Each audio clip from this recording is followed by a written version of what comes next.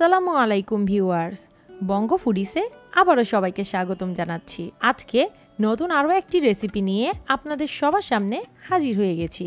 আজকের রেসিপিটি হচ্ছে পাকা আমের পাউন্ড কেক খুব অল্প সময়ে চুলায় তৈরি করে নেওয়া যায় এই পাউন্ড কেকটি এখানে কোনো বিটার লাগছে না না লাগছে কোনো ওভেন।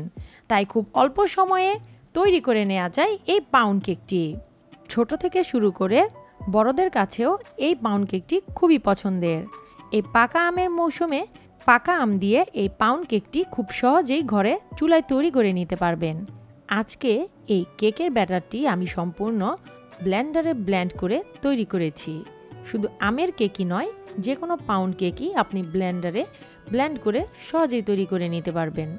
আপনার যদি আমার চ্যানেলটি সাবস্ক্রাইব করা না থাকে, তাহলে অবশ্যই সাবস্ক্রাইব করার অনুরোধ রইল। অলরেডি সাবস্ক্রাইব করে থাকলে থ্যাংক ইউ সো মাচ চলুন এখন দেখে নেই সম্পূর্ণ রেসিপিটি প্রথমে এখানে আমি একটি ব্ল্যান্ডার জগ নিয়ে নিয়েছি।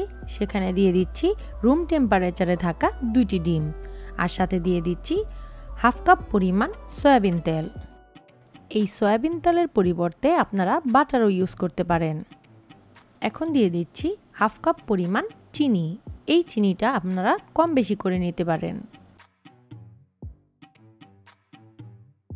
এখন দিয়ে দিচ্ছি এক কাপ পরিমাণ পাকা আম।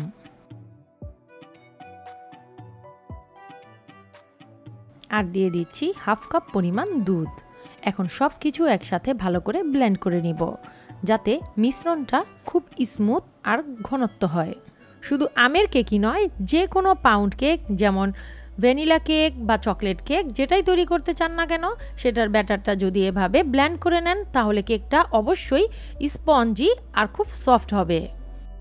দেখতেই পাচ্ছেন, আমি কীভাবে প্রথমে একটু ব্ল্যান্ড করে নিলাম, এরপর একটু থেমে আবারও ভালো করে ব্ল্যান্ড করে নিয়েছি।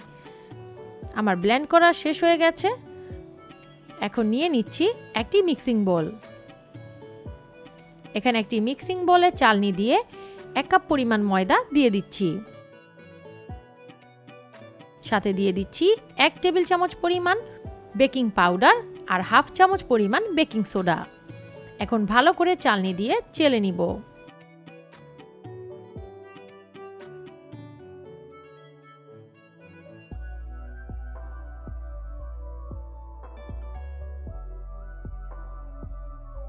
এখন একটি হ্যান্ড বিটারের সাহায্যে ভালো করে সব মিশিয়ে নিব। এখন যে ব্যাটারটা তৈরি করে নিয়েছি ব্লেন্ডিং করে, সেটা এখানে ঢেলে দিব। দেখতেই পাচ্ছেন, আমার ব্যাটারটা কতটা স্মুথ হয়েছে।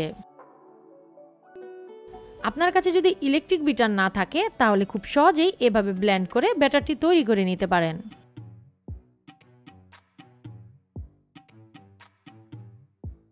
এখন একটি হ্যান্ড মিক্সারের সাহায্যে ভালো করে সব উপকরণ মিশিয়ে নিব, যাতে কোনো লাম্পস না থাকে।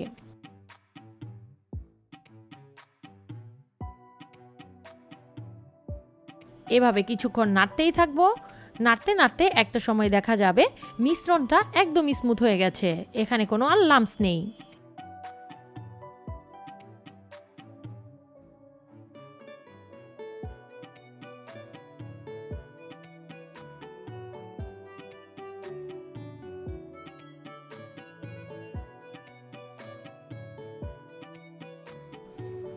দেখতেই পাচ্ছেন ব্যাটারটা কতটা মসৃণ হয়েছে দেখতে, আর এর ঘনত্বটা কতটুকু হবে। এটা আসলে বলে বোঝানো যাবে না, আপনি দেখেই বুঝতে পারবেন। আমি যে পরিমাণটা দিয়েছি, সেই পরিমাণটা ঠিক মতো দিলেই কেকটা পারফেক্ট হবে। এখন একটি কেকের মোল্ড নিয়ে নিয়েছি, এখানে এক পাউন্ড পরিমাণ কেক হবে, সেটা আমি একটু ব্রাশের সাহায্যে তেল ব্রাশ করে দিচ্ছি। এখন একটু বেকিং পেপার সেই মোল্ডের সাইজ অনুযায়ী কেটে এখানে দিয়ে দিচ্ছি। এর উপরও আবার তেলটা ব্রাশ করে নিচ্ছি। আপনার কাছে যদি এরকম মোল্ড না থাকে, তাহলে যে কোনো সাইজের যে কোনো মোল্ড এখানে ব্যবহার করতে পারবেন। এখন যে ব্যাটারটি তৈরি করে রেখেছিলাম সেই ব্যাটারটি আস্তে আস্তে উপর থেকে এভাবে মোল্ডে ঢেলে দিব। দেখতে পাচ্ছেন আমি কীভাবে দিচ্ছি।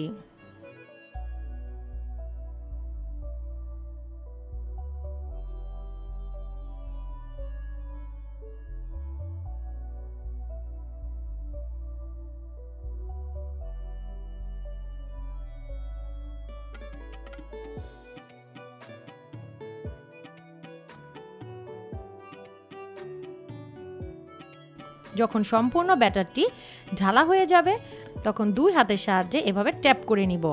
এতে করে ভিতরে বাতাস জমে থাকলে সে বাতাসটি বের হয়ে যাবে। নয়তো কেকের শেপটি নষ্ট হয়ে যাবে। এখন বড় একটি ফ্রাই প্যানের হাঁড়ি বসিয়ে সেখানে একটি স্ট্যান্ড বসিয়ে দিয়ে ঢাকা দিয়ে পাঁচ মিনিটের জন্য প্রিহেড করে নিব। আর অবশ্যই যে ঢাকাতে ছিদ্রটি রয়েছে, সেটি কাগজের সাহায্যে বন্ধ করে দিব। পাঁচ মিনিট পর ঢাকনাটি উঠিয়ে সেই কেকের মোল্ডটি এখানে বসিয়ে দিব। আর ৩৫ থেকে চল্লিশ মিনিটের জন্য ঢাকা দিয়ে আমি ঢেকে রাখব। চল্লিশ মিনিট পর আমি ফিরে আসলাম। দেখাই যাচ্ছে কেকটি কতটা সুন্দর হয়েছে। আরেকটু কনফিউশন দূর করার জন্য আমি একটি টুথপিকের সাহায্যে কেকের মাঝ বরাবর ছিদ্র করে দেখব, এখানে কাঠিটি স্মুথ আসে নাকি কোনো ব্যাটার লেগে থাকে। যদি সামান্য ব্যাটার লেগে থাকে, তাহলে বুঝতে হবে আরও পাঁচ মিনিট কেকটি হিটে রাখতে হবে। যেহেতু আমার টুথপিকটি স্মুথ বের হয়ে এসেছে, তার মানে কেকটি হয়ে গেছে। এখন কেকটি মোল্ড আউট করে এর পেছন থেকে বেকিং পেপারটি খুলে নিব। এরপর উল্টে নিব। এবং একটি ছুরির সাহায্যে বেকারি স্টাইলে পিস পিস করে নিব। আপনারা চাইলে যে কোনো শেপে এটি কাটতে পারেন। এই কেকটি বেকারির কেনা কেকের চেয়ে কোনো অংশে কম নয়। এভাবে পাকা আম ছাড়াও যে কোনো সময় ভ্যানিলা পাউন্ড কেকও তৈরি করে নিতে পারেন। এটা দোকানের কেকের চেয়ে অনেক বেশি সুস্বাদু ও স্পঞ্জি ও সফট। তৈরি হয়ে গেল আমার আজকের পাকা আমের পাউন্ড কেক।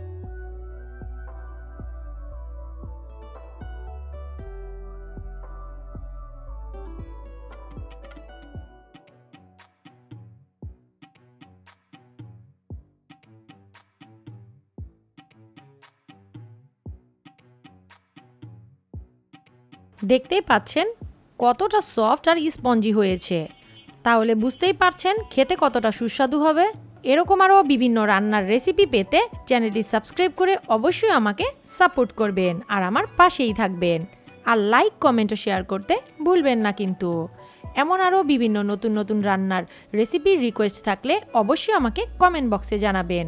আর এই রেসিপি দেখে যদি আপনি বাসায় ট্রাই করে থাকেন, তাহলে অবশ্যই সেটা আমাকে কমেন্ট বক্সে জানাবেন। কেমন হলো আপনার রান্নাটি? তাই আজকের জন্য বিদায় নিচ্ছি। আল্লাহ হাফেজ।